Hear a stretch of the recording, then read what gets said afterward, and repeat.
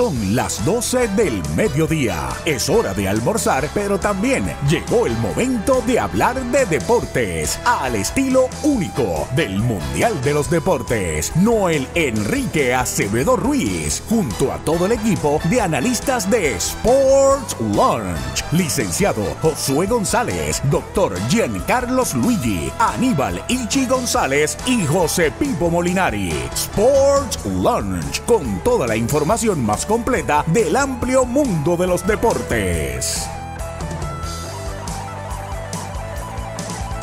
Eso es así, son las 12 con 2 minutos y ya da comienzo tu almuerzo en Deportes por Lunch en vivo. Así que le damos la bienvenida a nuestros compañeros Noel Enrique Acevedo Ruiz y Josué González, que ya están aquí presentes con nosotros. Muy buenas tardes, compañeros, y buen provecho.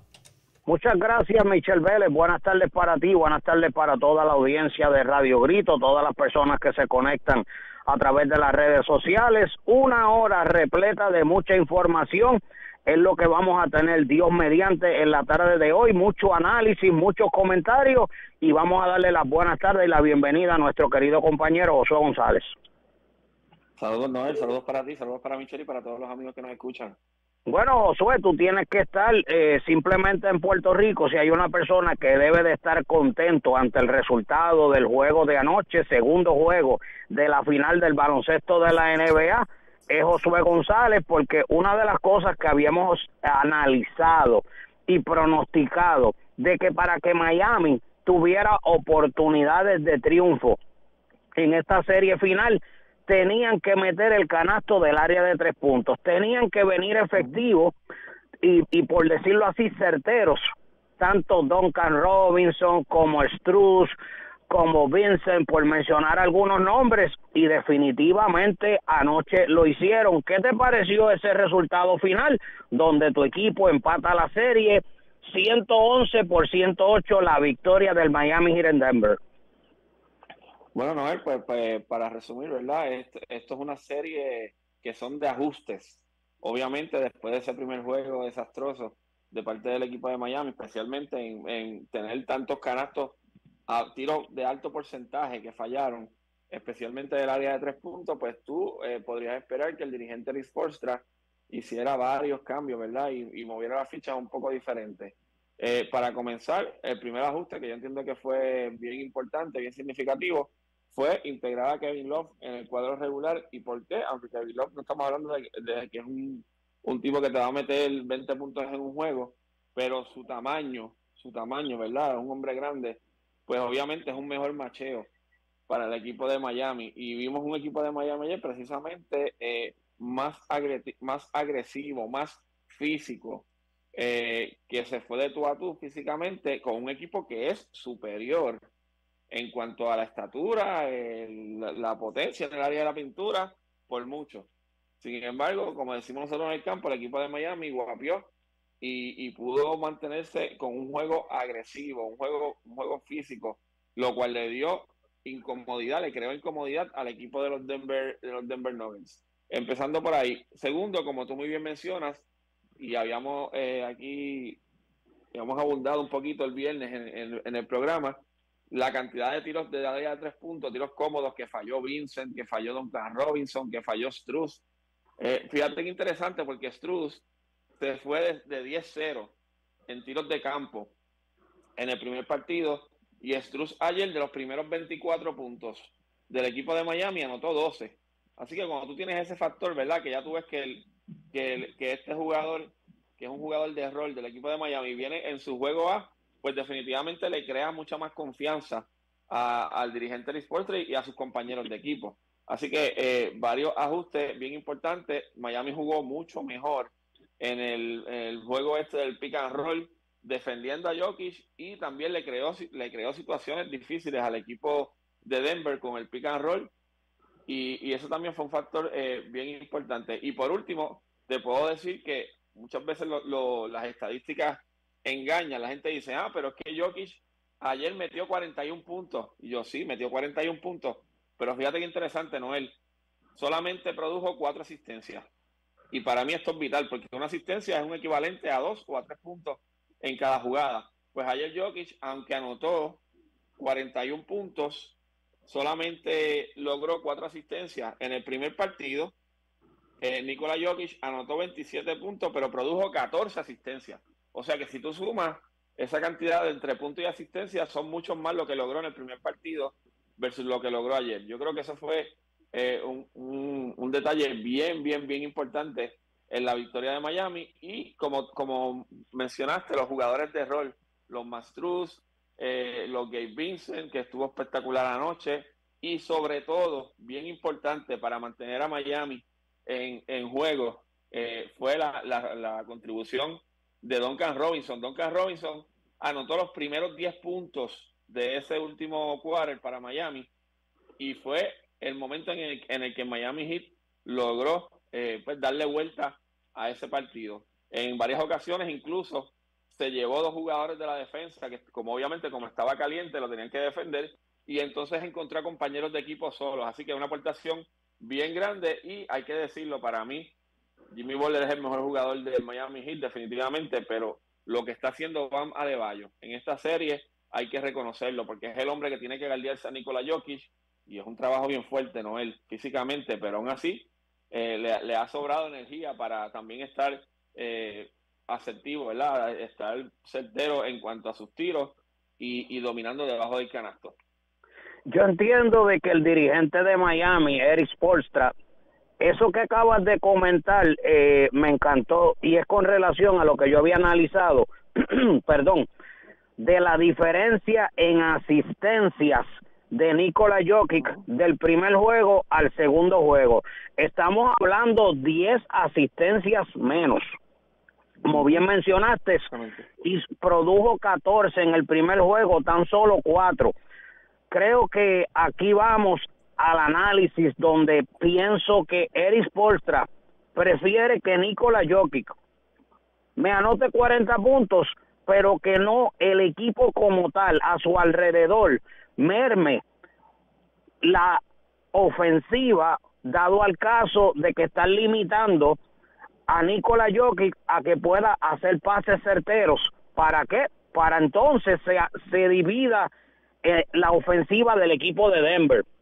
Y hay otro detalle, Josué, que quiero analizar.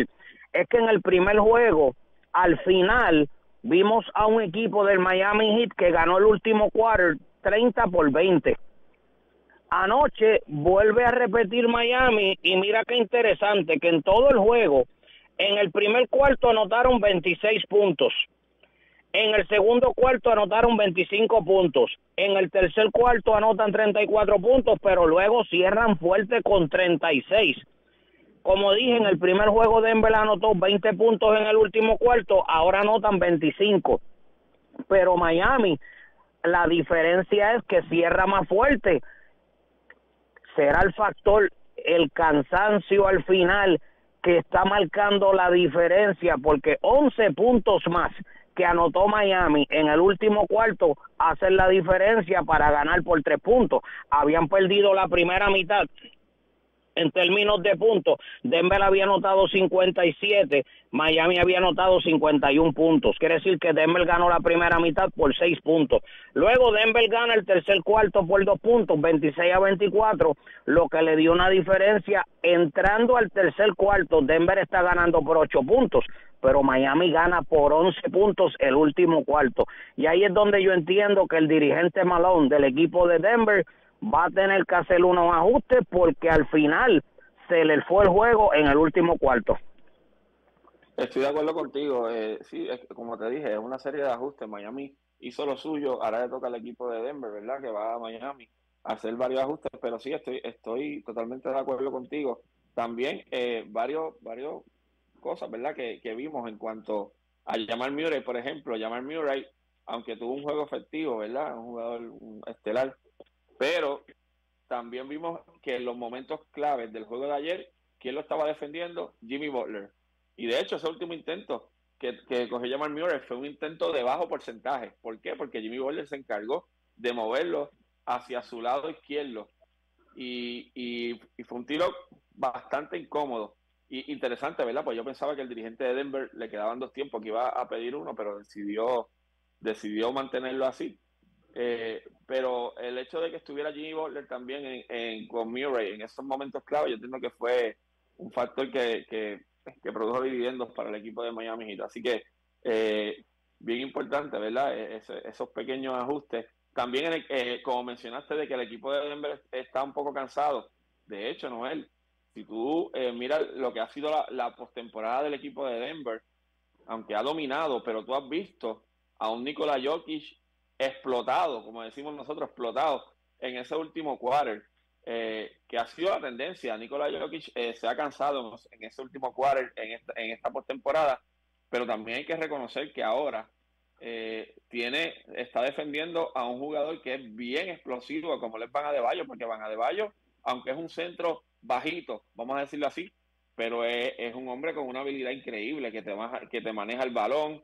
en muchas ocasiones, tú sabes que Miami Heat baja la bola con Bam Adebayo. Esto hace que Nikola Jokic tenga que salir afuera a defender. Y si tú sumas eso por, toda la, por varias posiciones, posiciones en el juego, posesiones, perdón, pues, oye, crea un factor de cansancio que a lo mejor no, lo tenía que hacer contra otro tipo de, centros de los que se había enfrentado en los primeros tres rounds del playoff. El detalle, mira esto, a veces hablamos y hemos quizás, y yo soy uno, me voy a hablar directamente, como que he pensado que he menospreciado la profundidad en el equipo de Miami y me voy a explicar.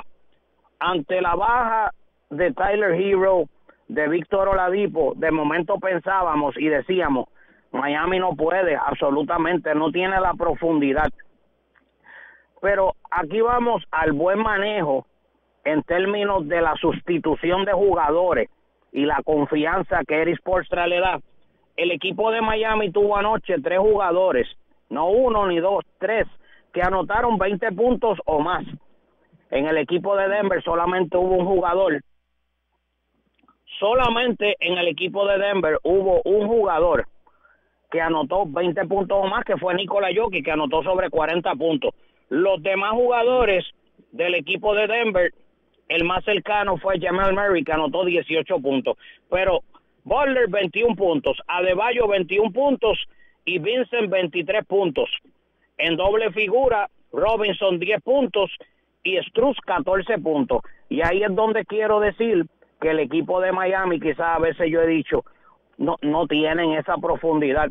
Cuando vemos estos números y vemos jugadores que tienen la capacidad de en un momento, estamos hablando de una final del baloncesto de la NBA, anotando 20 puntos o más, hay que reconocer que quizás yo pienso que hemos subestimado al talento del equipo de Miami, no hemos subestimado la calidad de utilizar sus jugadores de Eris Portra. Lo que yo pienso, y estoy hablando por mí, el equipo de Miami no está donde está por pura casualidad. Le ganaron a Milwaukee, le ganaron a los Knicks, le ganaron a Boston y ahora le ganan un juego en la final a Denver precisamente por eso por la profundidad y la calidad que tienen sus jugadores, Josué.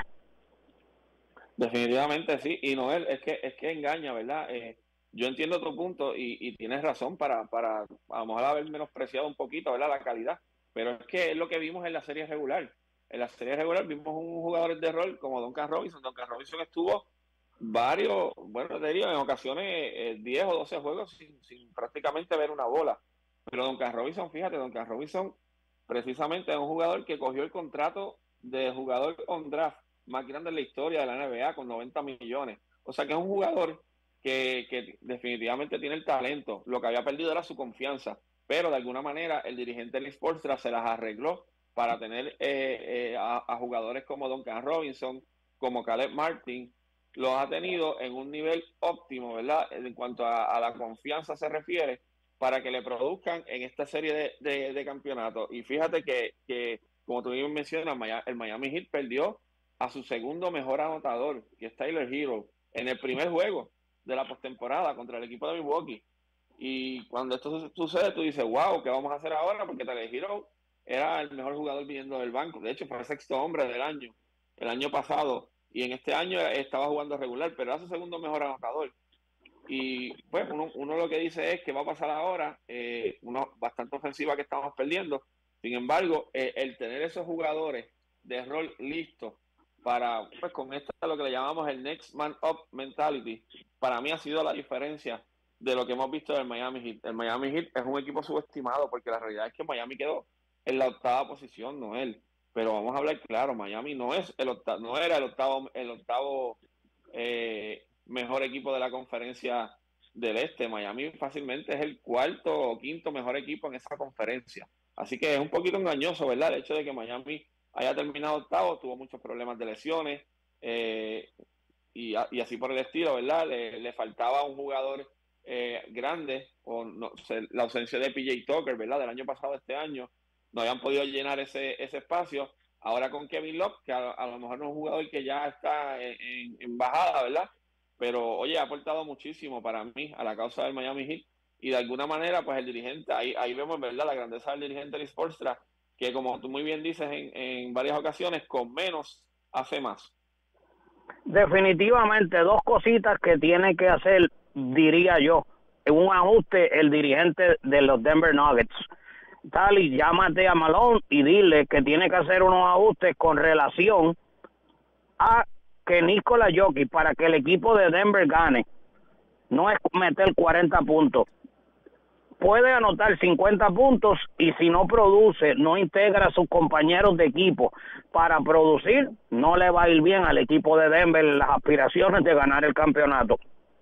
Y otro detalle que lo mencioné ahorita, no es casualidad Miami está dominando, está cerrando más fuerte. Dominaron 30 por 20 el último cuarto del primer juego y dominaron 36 por 25. El equipo de Denver ofensivamente y defensivamente tiene que cerrar mejor cada partido si no quiere darse con la sorpresa que se dieron los Milwaukee Bucks, que se dieron los Knicks de Nueva York, que se dieron los Boston Celtics y que cuidado para la historia, Josué porque qué mal han hecho quedar el Miami Heat a los tantos conocedores, a los analistas, a los expertos de este deporte, porque Miami lo sigue haciendo. Y no es que ganaron un juego, es que ganaron en Denver y de la manera que ganaron. Yo vi un equipo más determinado, yo vi un equipo más enfocado, yo vi un equipo más enérgico. Y para concluir, cuando Duncan Robinson, Josué, no fue un triple, no fue un jump shot, penetró, se cambió la bola a su mano izquierda, anotó la guirita contra el tablero. Esa jugada provocó un tiempo y yo pude ver la expresión, no sé si te percataste, la mirada de Duncan Robinson, a mí se me erizó la piel porque yo dije, Duncan Robinson está de regreso. Eso fue una jugada de impacto donde se veía el coraje en él porque Josué, nosotros sabíamos, habíamos visto ese jugador anteriormente, dónde estaba ese Duncan Robinson, así que eso fue una foto para un póster. Así que mira a ver si la puedes conseguir para que la pongas en tu colección allá en, en tu residencia, donde tú tienes una colección del equipo de Miami, porque esa foto, esa imagen que yo vi, esa, por decirlo así, esa cría, ese coraje de Duncan Robinson me transmitió muchas cosas buenas. Noel, y si hablamos del equipo de Miami Heat, ¿verdad? Eh, yo entiendo que la grandeza de este equipo, ¿verdad? Y no es porque sea el equipo que a mí me gusta, pero ha sido la capacidad que ha tenido el staff para desarrollar jugadores.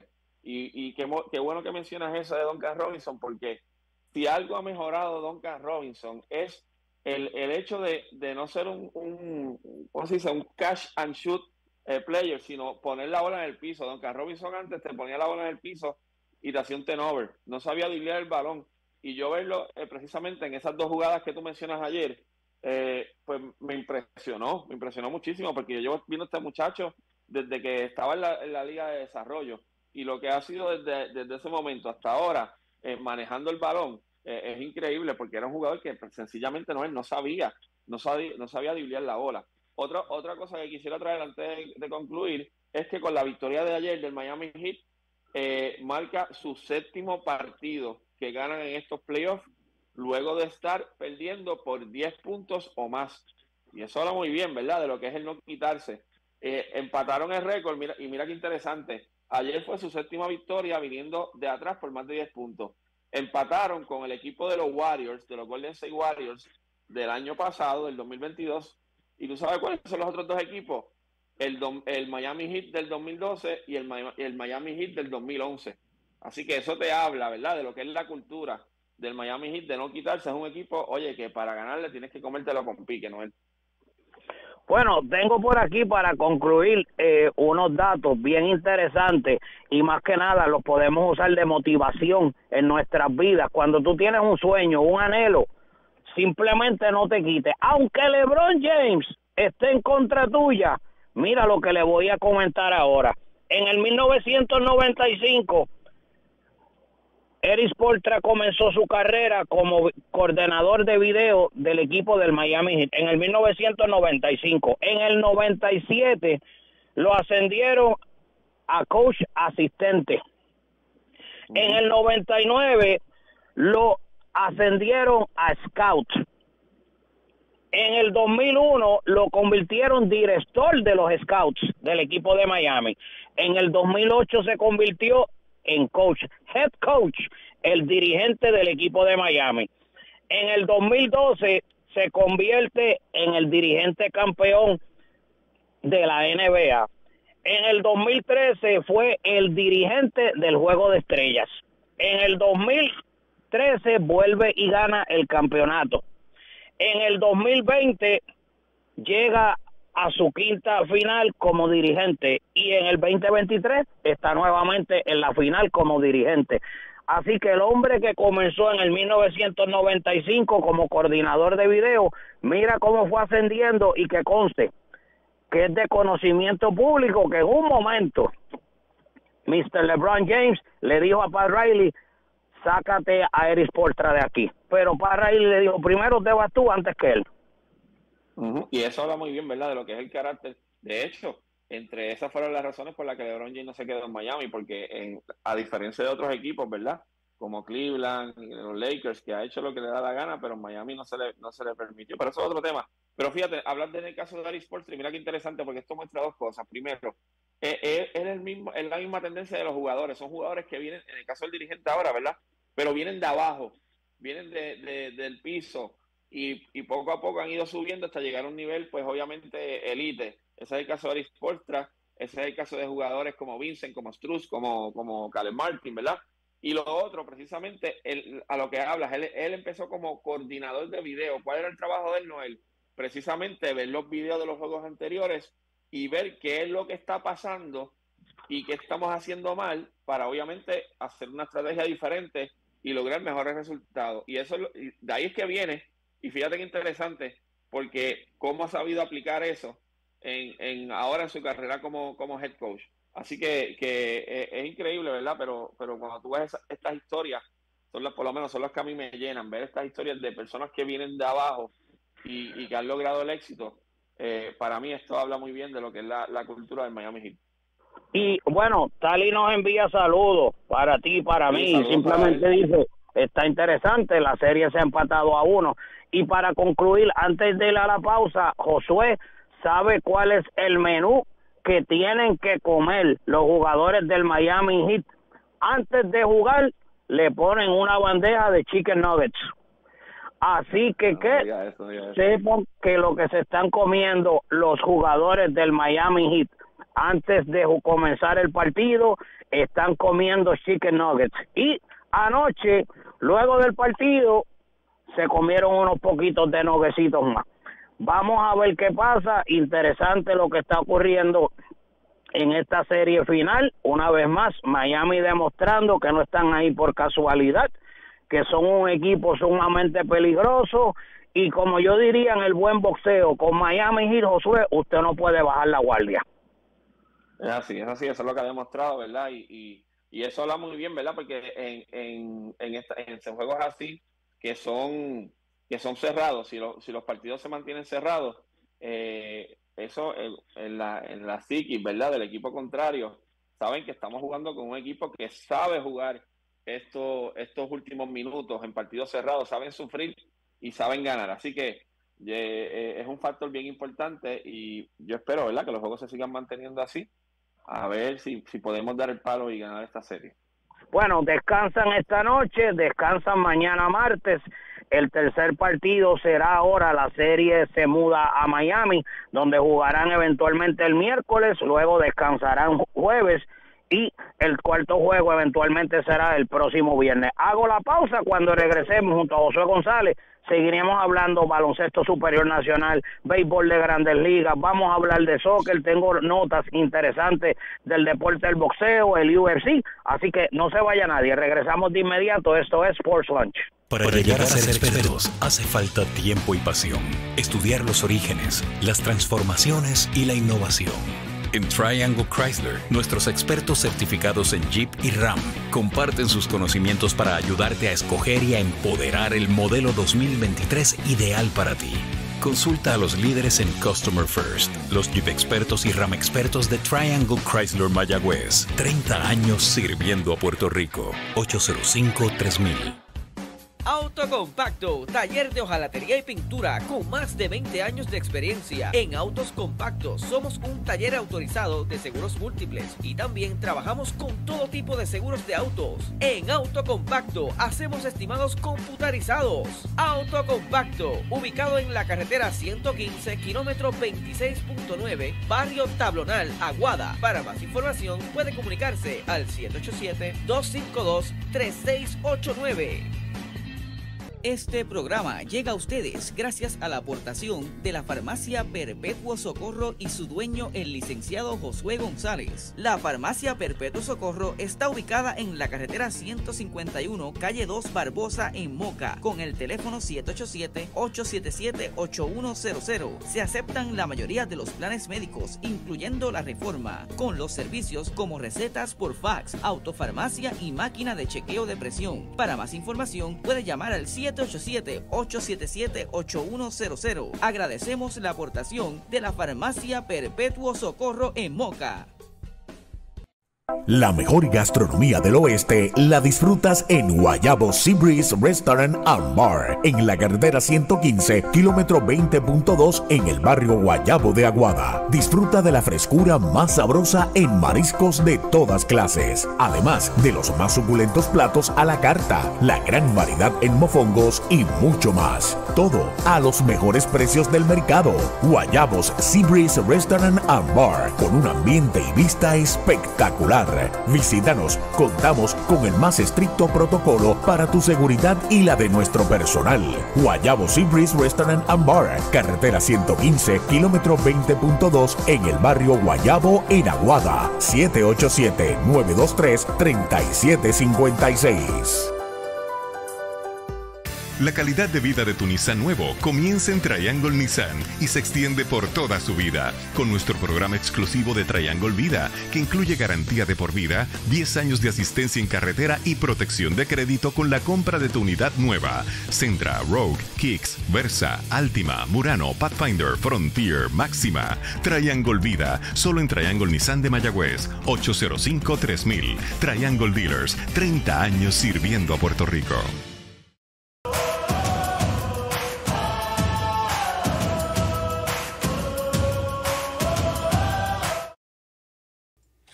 Continuamos aquí en tu almuerzo en Deportes por Lunch, así que adelante compañeros con la información.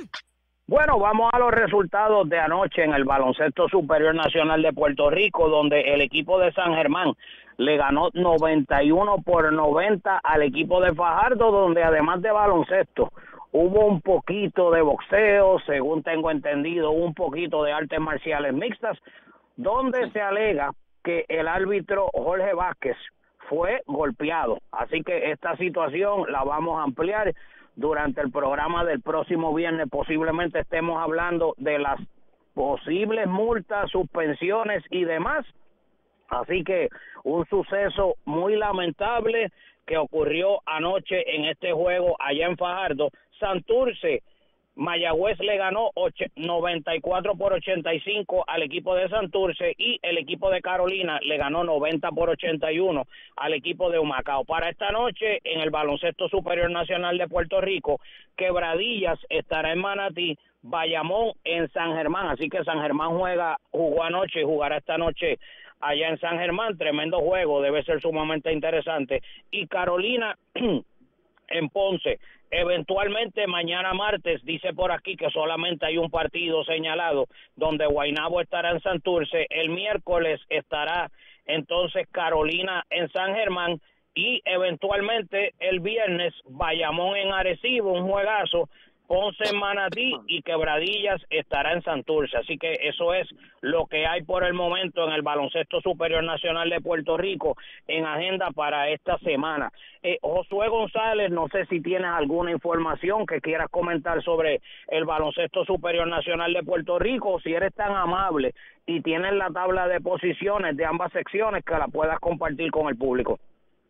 Cómo no, Noel, pero te quería comentar antes de ir a la posiciones, oye, que hay rumores fuertes de que el equipo de los cariduros de Fajardo volverá a ser los Santeros de Aguada en la próxima temporada. Así que usted que es de esa área, no sé si está mejor informado que yo en ese aspecto.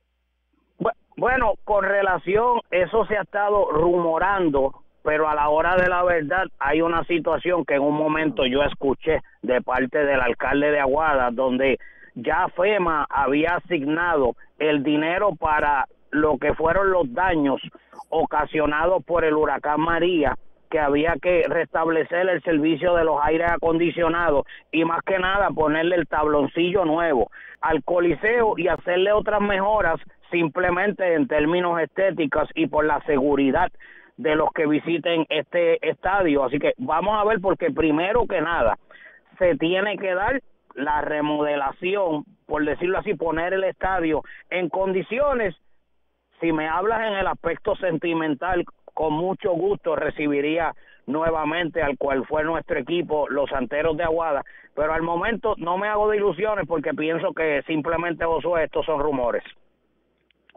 Es así. Bueno, tabla de posiciones, sección A, los Piratas de Quebradilla son los líderes con récord de 20 y 10, los Atléticos de San Germán en la segunda posición con récord de 19 y 11.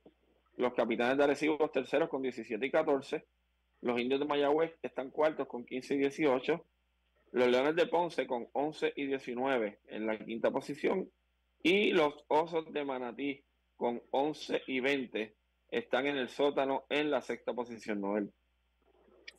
Estamos ahora en la sección B, donde los Vaqueros de Bayamón son los líderes con récord de 20 y 11. Los Mets de Guaynabo están segundo con 17 y 14. Los Gigantes de Carolina con 16 y 14 están en la tercera posición. Santurce está cuarto con récord de 500, juegan para 16 y 16. Luego los Cariduros de Fajardo con 3 y 20. Y a medio jueguito debajo el equipo de los Grises de Macao con récord de 12 y 20.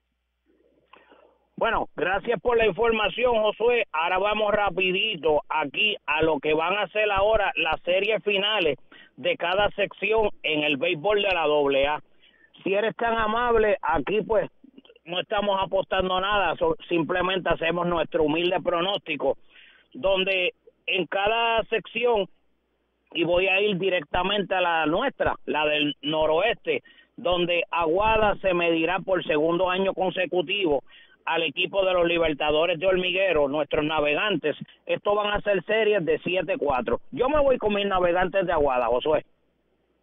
Yo me voy a ir también con el equipo de Aguada, basándome en que lo que he visto, o, lo que es, pues, obviamente estadísticamente hablando, oye, el cuerpo de lanzadores jóvenes que tiene el equipo de Aguada, yo creo que va a ser la diferencia en esta serie. Así que me voy a ir con el equipo de Aguada para ganar en seis, seis jueguitos, Noel. Bueno, nos fuimos con nuestra navegante.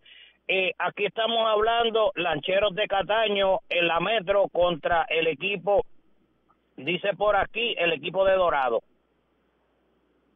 Aquí me voy con el equipo de Dorado para ganar. Te vas con Dorado, yo me voy a ir, fíjate, me voy a ir con Cataño. Eh, Salinas en el sur contra Juana Díaz. Salinas y Juana Díaz debe ser una buena serie también. Me voy a ir con el equipo de Salinas. Te vas con Salinas. Río Grande en Gurabo.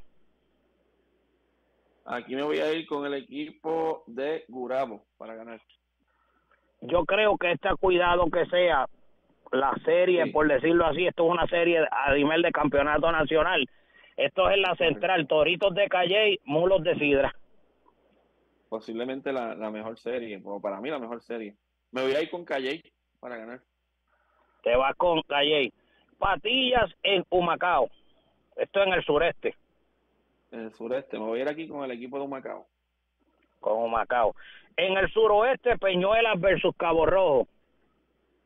Buena serie también. Aquí me voy a ir con el equipo de los Piratas de Cabo Rojo. Ok. te vas con Cabo Rojo. Aquí hay una situación que no mencioné el norte y es porque Camuy está al frente en la serie contra Utuado 2 por 1 y Atillo está dominando a Manatí 2 por 1. Obviamente el equipo que gana entre Camuy y Utuado se va a enfrentar al que gane entre Atillo y Manatí. Pero esta serie, como le dije, Atillo al frente de Manatí 2 por 1 y Camuy al frente de Utuado 2 por 1 esta serie ya les informamos que será el que primero gane cuatro partidos de siete. Así que son series sumamente extensas, Josué. Sí, sí, sí. Así que eh, serie, ¿verdad? Que, que se muestra lo más interesante. Vamos a ver, oye, el equipo de Aguada ha hecho un excelente trabajo hasta el momento y esperamos que siga así. Bueno, tengo aquí unos numeritos rapiditos que quiero compartir contigo y con el público. Y hablo de el mayagüezano, del Maní Puerto Rico, Emanuel El Pulpo Rivera.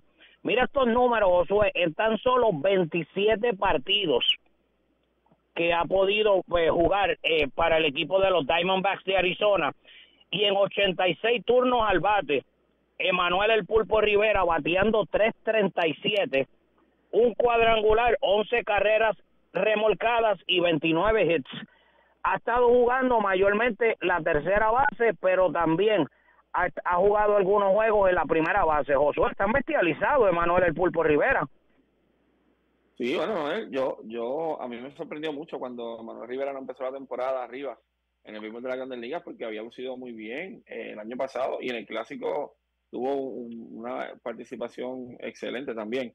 Me sorprendió mucho que no empezara, pero las aguas llegan a su nivel y yo creo que Manuel Rivera pertenece al béisbol de las grandes ligas y esperamos que se quede ahí por mucho tiempo. Josué, en una estadística que yo sé que a ningún pelotero le gusta, pero mira esto, es que simplemente los cinco bateadores que en lo que va de temporada más se han ponchado en sus turnos al bate, obviamente. Y tengo por aquí los cinco bateadores. Oscar Hernández se ha ponchado en 80 ocasiones. Juega para los marineros de Seattle. Eugenio Suárez se ha ponchado en 71 ocasiones y juega para los marineros de Seattle. Julio Rodríguez se ha ponchado en 70 ocasiones y juega para los marineros de Seattle. Jared Kelenic se ha ponchado en 70 ocasiones y juega para los marineros de Seattle. El único que está ahí coladito, que no es de los marineros de Seattle, es el novato de los Yankees de Nueva York, Anthony Volpe, que se ha ponchado en 71 ocasiones. Josué, cuatro bateadores de los marineros de Seattle están entre los, más que se ponchan en las grandes ligas. Votamos al coach de, bateo inmediato. Wow, y, significa que habría que hacer ajustes, ¿verdad? En, en cuanto a la alineación y yo creo que le podemos ir cambiando el nombre, Noel, en vez de los marineros de Seattle a los cogeponches de Seattle. Tengo por aquí que fue escogido el jugador del mes en la Liga Americana del mes, del pasado mes de mayo. ¿Sabes quién fue seleccionado el pelotero del mes, Josué? No, adelante, cuéntame. Aaron Judge. Batió de, de 76 turnos, batió 26 inatrapables, 3.42 de promedio, 5 dobles, 12 cuadrangulares, recibió 20 bases por bola y un OPS de 1.356.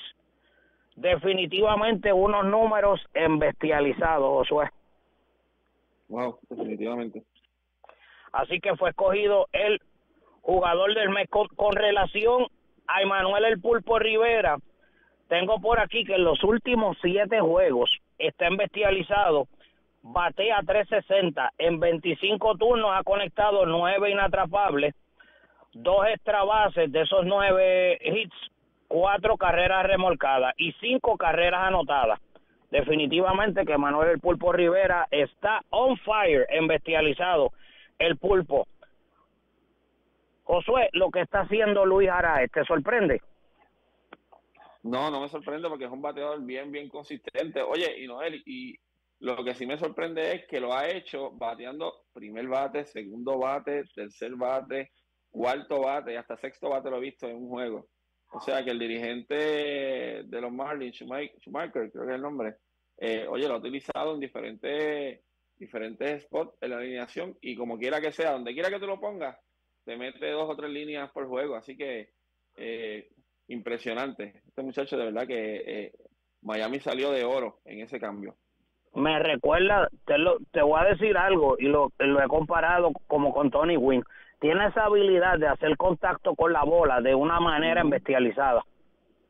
Es así. Oye, y, y también quiero mencionar, ¿verdad? Ya que estamos hablando de los Marlins, si me permite, eh, el, buen desempeño de este muchacho que es el, lanzador novato, Eury Pérez, que de sus primeras cinco salidas ha ganado tres. Y, un poco ha llenado ese vacío que ha dejado Sandy Alcántara, ¿no? Porque Sandy Alcántara sigue fallando en las salidas. Ayer el equipo de Miami logró un comeback win, ¿verdad? Pero permitió cinco carreras en, cinco entradas y, tiene efectividad de más de cinco. Así que ese hueco de Sandy Alcántara, este muchacho Eury Pérez, eh, lo ha llenado y de qué manera. Así que eh, es impresionante lo que he visto hasta ahora de este lanzador novato. Hablando de lanzadores, y hay uno que Josué dice, se alega que posiblemente jamás vuelva a lanzar, y hablo lo de Steven Strasberg del equipo de los Nacionales de Washington. Dice por aquí que tiene eh, unos daños severos en sus nervios del brazo de lanzar y que posiblemente jamás vuelva a lanzar. Yo creo que este va a pasar a la historia, Josué, como uno de los, una vez más, de esos contratos multianuales que luego nunca vimos resultados positivos de los peloteros. Definitivamente. Oye, y ahora que mencionas ese caso, ¿verdad? Que es un diferente deporte, eh, escuché lo mismo de Alonso Gol, que se dice que calladitamente puede ser que Alonso Gol jamás vuelva a jugar baloncesto. Y dice, wow, son jugadores, ¿verdad? Con tanto talento y, y lamentablemente las lesiones lo han opacado. Desafortunadamente, sí. Eh, había leído con relación a lo de Alonso Ball que tiene una lesión la cual lo pudiera tener fuera y cuidado que sea este una lesión de carrera. Había leído ese comentario. Bueno, voy rapidito a lo que va a pasar en el día de hoy en el béisbol de las grandes ligas, donde mis Yankees de Nueva York estamos descansando, le ganamos a los Dodgers la serie este pasado fin de semana allá en Los Ángeles para aquellos que pensaban que los Dodgers nos iban a barrer. Pues no está bien, perdimos el juego del viernes, pero ganamos el sábado y ganamos ayer el domingo. Hoy nosotros hoy descansamos, mañana comenzamos una serie, ¿sabes contra quién, Josué? Cuéntame contra las medias, yo no sé de qué color ya son, las del profe Eddie Figueroa. El equipo, ¿cuál es el fanático? Porque esas medias ya no tienen color. Eso es una práctica, definitivamente. Vamos a ver si le barremos esa serie. Hoy culmina la serie entre Tampa Bay y Boston. Tigres y Phillies. Tigres y Phillies. Ya, ya es hora que Josué que los Phillies comiencen a ganar. Sí, me voy con los Phillies. Tienen que ganar.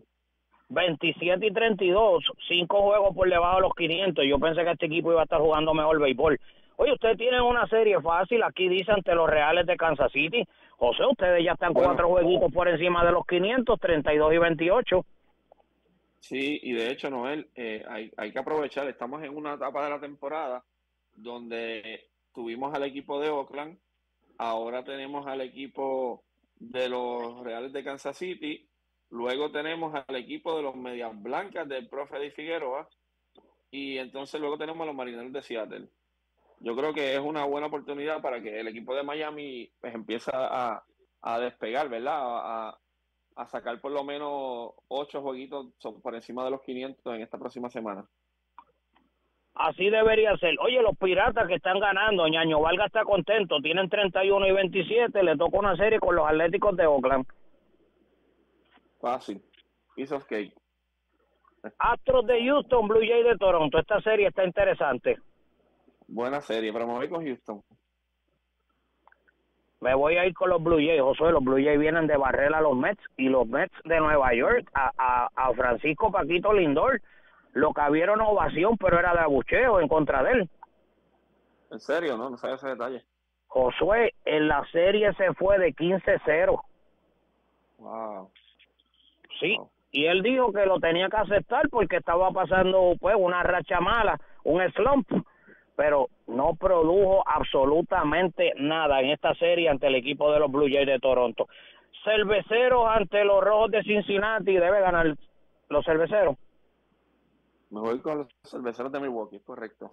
Oye, el equipo, Josué, cuidado que sea el equipo más que más batea en las grandes ligas, los Rangers de Texas. Ya tienen 38 y 20, tienen 18 juegos por encima de los 500. Los Cardenales de San Luis 25 y 35. Este equipo en la vida yo me imaginé que iban a estar 10 juegos por debajo de los 500 con 60 juegos completados. Aquí vemos otros equipos, Noel, que han sido sorpresas, pero en versiones contrarias. El equipo de Texas ha sido una sorpresa positiva, que es un equipo que ha gastado mucho dinero y no había tenido éxito. Y finalmente, pues este año están ya viendo los resultados. Y el equipo de San Luis, una franquicia, ¿verdad?, que nos tiene acostumbrados a hacer una franquicia ganadora y este año, pues no ha encontrado su norte. Tengo por aquí los Cubs de Chicago, 26 y 32. Padres de San Diego, 27 y 32. Dos equipos que para mí están jugando por debajo de las expectativas. Eso es así. Me voy con San Diego como quiera. De San Diego, Josué. ¿Quién diría que este equipo, cinco juegos por debajo de los 500, esto es inaceptable. Mañana, ya le mencioné, la serie es para hoy. Dentro de las series que hay para comenzar mañana, ya le mencionamos los Yankees de Nueva York ante el equipo de las Medias Blancas de Chicago. Twins de Minnesota comienzan una serie con Tampa Bay mañana. Los Diamondbacks comienzan una serie contra los Nacionales de Washington. Boston estará en Cleveland desde mañana en adelante. Los Dodgers estarán en Cincinnati. Los Mets estarán ante los Bravos de Atlanta. Orioles del Baltimore estarán ante los Cerveceros de Milwaukee. Eh, gigantes de Pedrito Hernández ante los Rockies de Tal y Talavera. Y los Marineros de Seattle este, ante el equipo de los Padres de San Diego. Una serie que comenzará mañana si eso es lo que hay. José, ¿qué ha pasado últimamente en el mundo del fútbol, del soccer y del balompié? Pues mira, Noel, eh, básicamente ya, ya prácticamente todas las ligas acabaron. Eh, novedades como tal, te voy a mencionar de dos. Una de ellas es eh, el hecho de que Leo, Leo Messi ya confirmó que se va del Paris Saint Germain. Se va a ir del Paris Saint Germain y se está hablando de que posiblemente regrese al, Barcelona. Así que esta, estas son las alternativas. Tiene una mega oferta de, estos equipos, de, uno de estos equipos de Arabia Saudita, que tú sabes que han metido millones largos, billones diría yo, para tratar de, buscar los jugadores grandes del fútbol. Eh, y la otra oferta que tiene es nada más y nada menos que del Inter de Miami. Así que es una muy buena, hay una muy buena posibilidad también de que Messi venga a jugar, pero se menciona que posiblemente hay, eh, Messi firme un contrato con el Inter de Miami y el Inter de Miami se lo ceda al Barcelona por un añito, eh, un añito y luego entonces regrese entonces y juegue en la MLS. Así que esto podría ser el inicio. Yo te aseguro, Noel, que si, que si Messi llega a cruzar el charco y venir a jugar a Estados Unidos, esto va a ser un precedente grandísimo y vamos a ver muchos jugadores, hay que decirlo, no, los mejores jugadores del mundo son los jugadores suramericanos. Así que podríamos ver muchos jugadores suramericanos, estrellas, brincando el charco y viniendo a jugar a los Estados Unidos, lo cual sería eh, una noticia bien positiva, más, más aún cuando sabemos que el próximo Mundial del 2026 va a ser precisamente en Estados Unidos. Así que es una muy buena noticia. Y la otra noticia, precisamente, te mencioné los equipos árabes que están dando mucho dinero. Noel, escucha esto, siéntate bien. Ayer se reportó que Karim Benzema, Karim Benzema es el delantero central mejor del mundo, del, Real Madrid, que Karim Benzema firmó un contrato, escucha bien Noel, de tres años y 643 millones con el club de Arabia Saudita Al Ittihad. Así que tres años, 643 millones. ¿Qué tú crees de esto? Y me imagino que eso es en euros. Sí, es en euros, en euros, exactamente. Imagina, imagínate, eh, eh, es, increíble. Y ahí vemos, ¿verdad? Que los árabes quieren a la mala eh, acaparar los grandes jugadores. Ya lo hicieron con Cristiano Ronaldo, ahora Karim Benzema. Y ahora, precisamente, lo que estamos viendo es esto. la Liga de Arabia Saudita subiendo, la Liga de la, la MLS en Estados Unidos subiendo también.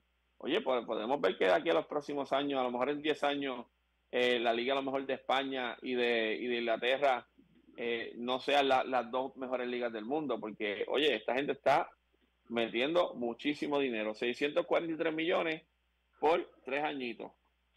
Wow, estamos hablando con cerca de 700 eh, en términos de dólares, quizás son como 700 millones de dólares por tres temporadas. Eh, 214, 214, millones de euros por temporada, no, esto es algo absurdo, pero es absurdo. Cualquiera, cualquiera se va, dime tú. No, no, definitivamente. Juega tres temporadas y ya no tiene que hacer nada más el resto de su vida. Josué, para ti rapidito, si tú dijeras, tengo que ponerlo en este momento, al día de hoy, hoy 4 de junio del año 2023, mencióname los cinco mejores jugadores del deporte del soccer para ti al día de hoy. Ok, te tengo que mencionar a Kylian Mbappé. ¿Es el número uno para ti? Sí, para mí Kylian Mbappé es el, es el, el número uno. Número uno. El francés, ese está hablando del francés. Correcto. Te estoy hablando de, de, de Haaland, del equipo de, del Manchester City. Ese es inglés. Eh, te puedo hablar. Ese es inglés, sí. no, pero Haaland es noruego, si no me equivoco. Pero juega en la liga, en la liga Premier. Eh, te menciono a Leo Messi, por supuesto, está ahí. Eh, te menciona a Karim Benzema. Karim Benzema se ha convertido, se ha convertido luego de irse, eh, luego de irse Cristiano Ronaldo del Real Madrid, se convirtió en una superestrella. Cristiano Ronaldo lo pagaba mucho. Y luego dice Ronaldo, oye, subió su nivel de juego increíblemente. Y el otro que te menciono es a Mohamed Salet, del equipo del Liverpool, que también es un excelente jugador. Este es egipcio, ¿no? Él. ¿No mencionaste a, a Cristiano Ronaldo? No, ya Cristiano Ronaldo, pues la verdad es que, que no, no, te diría, no están ni entre los primeros cinco ni entre los primeros diez jugadores del mundo en estos momentos. Ni Neymar tampoco. Ni Neymar, tampoco. Lo que, lo que pasa con Neymar Noel es que Neymar eh, eh, pasa más tiempo lesionado que jugando.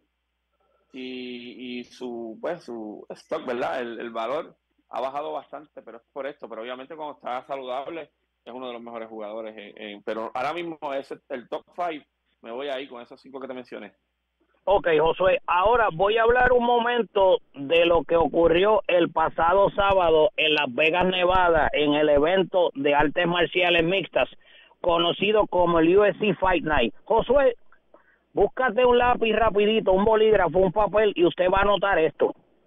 Rapidito.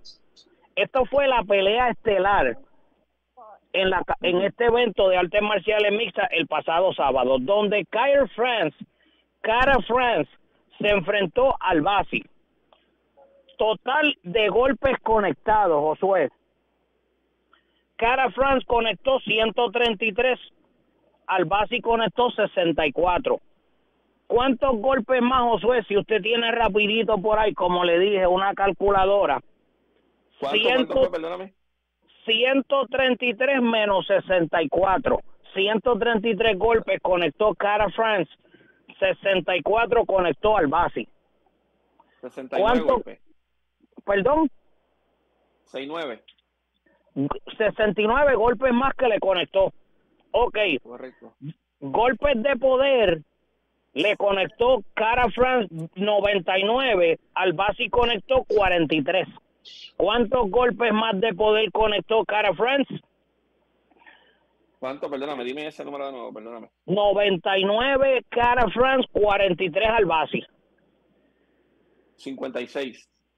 Ok. Golpes a la cabeza le conectó 57 Cara France al base y al base conectó 31. ¿Cuántos más conectó? 57 menos 31. 26, 26. Ok, golpes al cuerpo, Cara France conectó 20, al base 6. Esto es facilito, 14 golpes más. 14.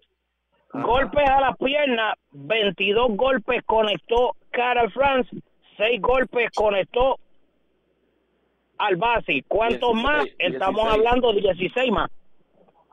Correcto, 16.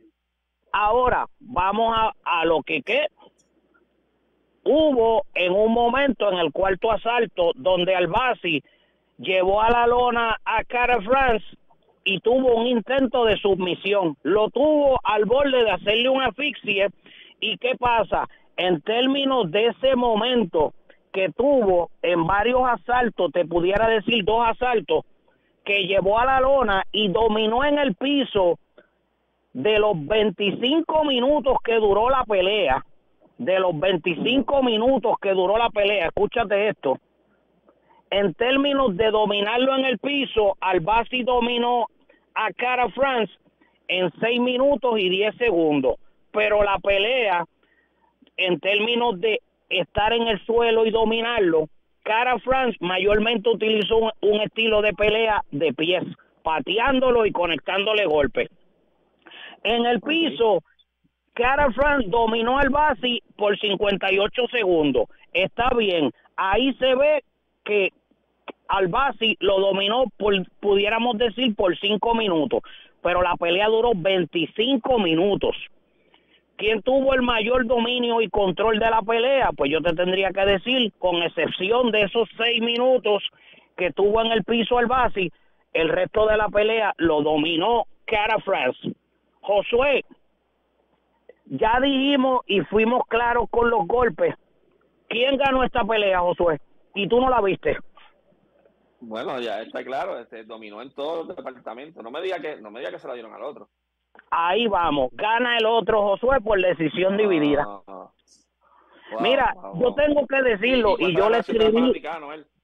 Yo le escribí a Aníbal Ichi González, que es nuestro amigo y, el fundador de este segmento que se habla de artes marciales mixtas en este programa. Yo le escribí a mis amigos y hermanos Figueroa, José Lo Figueroa, peleador de artes marciales mixtas, le escribí a su hermano, José, este, mi amigo y hermano Edgar Figueroa, donde simplemente le tuve que decir, por primera vez veo una decisión injusta, una decisión la cual pues para mí tengo que mencionarla un robo.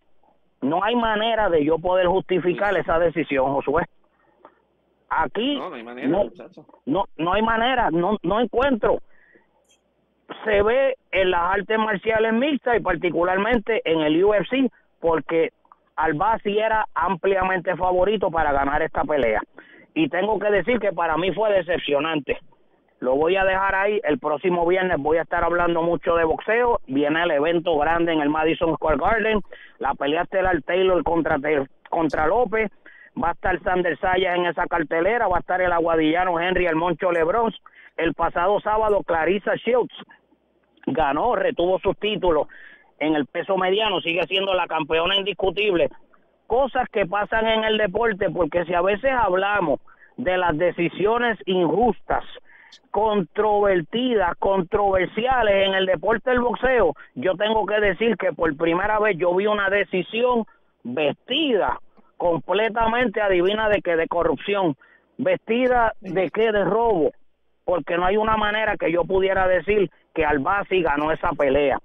El viernes regreso, como siempre, al estilo único de Sports Lunch. Gracias Josué González, gracias Michel Vélez, gracias a todos los comercios que hacen su aportación. Que tengan todos una feliz y bendecida y embestializada semana. Estaremos de regreso el próximo viernes, donde sí, le prometo que vamos a estar hablando mucho del tema del boxeo y también le voy a estar hablando de una cartelera que va a haber aquí en Puerto Rico de artes marciales mixtas donde quién le vamos a traer la información, vamos a ver si nos contactamos con el amigo José Figueroa para que nos amplíe de esta cartelera aquí en Puerto Rico, será el sábado 17 de junio, donde evento grande de artes marciales mixtas. Así que hasta el próximo viernes, buenas tardes, buena semana para todos. Buenas tardes. Esta emisora, sus dueños y comerciantes no necesariamente se solidarizan con las expresiones vertidas en el pasado programa. Estás escuchando Radio Grito, WGDL 1200 AM, Lares, W227DR 93.3 FM, Aguadilla y WZET 92.1 FM HD4, Mayagüez. Radio Grito, el medio que te lleva. Bye.